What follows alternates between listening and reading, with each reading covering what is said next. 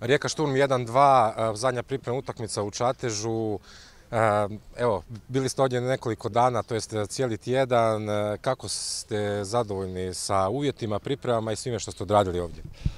Pa je, evo, zadnja utakmica. Mislim da su ove pripreme ovdje što smo bili tih pet dana, da je bilo stvarno sve, sve vrijedno svake pohvale, pogotovo od uvjeta svega hotela.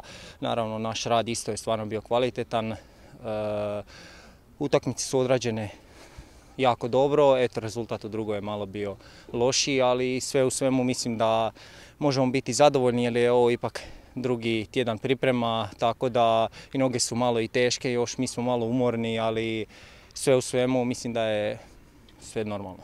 Možeš nam reći kako ekipa diše ovako prije nastavka sezone?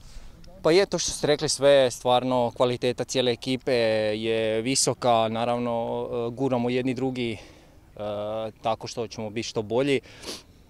Samim time i trenzima i utakmicama, e, konkurencija na bilo kojoj poziciji, stvarno svi rade vrhunski, stvarno na, na visokom nivou i samim time svi smo bolji i bolji jer jedni druge potičemo da imaju, svako ima svoju konkurenciju, tako da jednostavno to možemo biti zadovoljni, a dobro, ovo igra, igra, to bude svega, tako da to nije na meni da komentiram, moje je da igram i da radim ono što mi se kaže, a ostalo nek drugi kažu i nek vide.